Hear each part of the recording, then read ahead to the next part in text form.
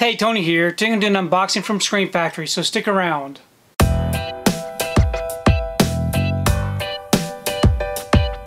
So I received my order from Scream Factory. This right here is for the um, Child's Play 4K um, editions for the remainder of the Child's Play films. So I got this big old box wrapped pretty nicely. So I'm going to go ahead and unbox this and we'll take a look at what I've received. Okay, I've got everything unboxed. Um, first up we have the posters. So we do have this big poster tube and it has all of the um, posters included in it.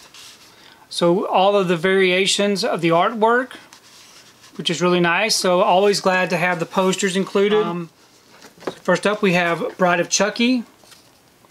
Great looking artwork. And then here's the back. And then as far as the 4K disc um, packaging, it is the same artwork. And then I did get the, um, the variation slipcover, which I really love the artwork on this one. Really great looking artwork. I, I do love that one. And then here's the back. And I also got the um, holofoil sticker. Maybe they call it a prism sticker. Um, get it out of this little packaging. So just plain and simple. Not a big fan of the stickers, but it is a part of this set. So anyways, that's what it is. Okay, next up we have Cult of Chucky. Again, some nice looking artwork. Here's the back. The same with the 4K release. I'm not going to open these up, so I'm just going to leave these sealed for now.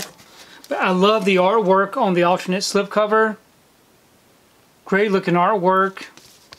And then there's the back. And we have Curse of Chucky. In the back. Same artwork on the 4K um, edition. And some great looking artwork there on the slipcover. And here's the back. Love that image there. And then the last one we have is Seed of Chucky.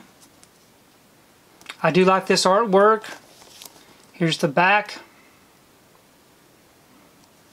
And then we have our alternate slip for that one. I, I love this alternate slip also. So the alternate slips have some really good artwork. To me, that's really what made this set.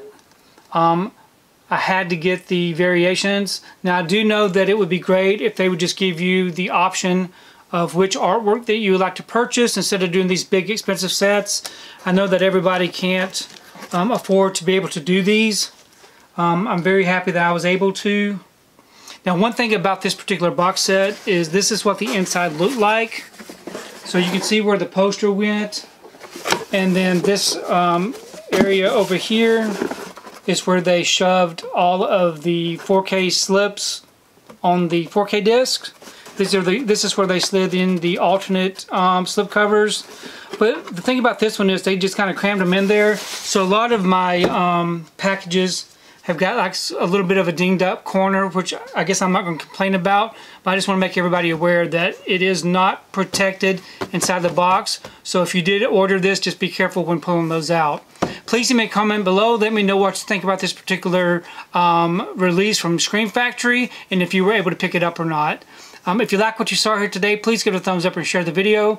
If you haven't subscribed to my channel, I would really appreciate it if you'd subscribe. If you do subscribe, please remember to hit that notification bell so that you can be notified every time I upload a new video. If you haven't found me on my social media accounts, I'm on Instagram, TikTok, and on Twitter. And if you'd like to find out what I've been watching, you can find me over on Letterboxd. I do have links below.